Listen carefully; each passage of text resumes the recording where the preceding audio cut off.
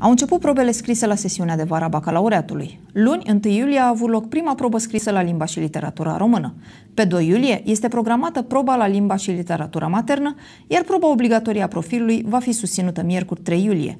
Ultima probă scrisă, cea la alegerea profilului specializării, se va desfășura joi 4 iulie. Conform informațiilor furnizate de către inspectorul școlar general Elena Mihailescu, în sesiunea de vara bacalaureatului s-au înscris 1473 de candidați, repartizați în cele 5 centre de examinare.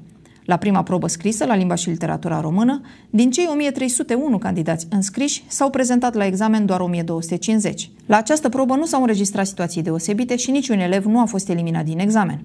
Afișarea primelor rezultate este programată pentru data de 8 iulie până la ora 12 și e urmată de perioada de contestații. Între 9 și 12 iulie vor fi soluționate contestațiile, în timp ce afișarea rezultatelor finale este prevăzută pentru data de 13 iulie.